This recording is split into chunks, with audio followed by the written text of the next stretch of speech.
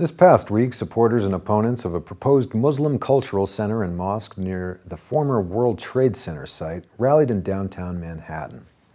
We need, America needs to man up right about now.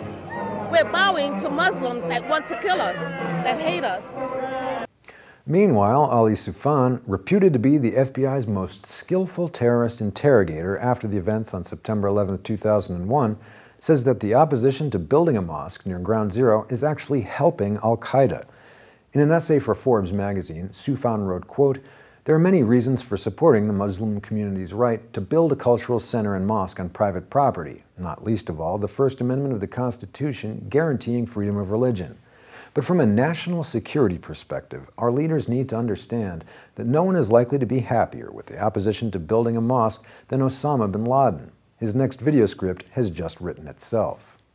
Soufan, a Muslim himself who cracked some of al Qaeda's top operatives by rejecting harsh interrogation methods, noted that no American Muslims participated in the September 11th plot.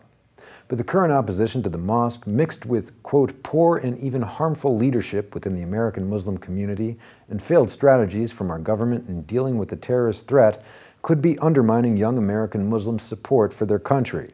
He wrote, quote, when demagogues appear to be equating Islam with terrorism, it's making young Muslims unsure about their place in the country. It bolsters the message that radicalizers are selling, that the war is against Islam and Muslims are not welcome in America.